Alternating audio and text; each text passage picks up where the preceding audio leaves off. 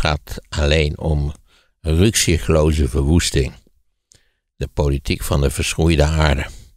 Ooit begonnen al in de jaren negentig, dus het is niks nieuws onder de zon, maar dit is wel een heel radicaal gezelschap.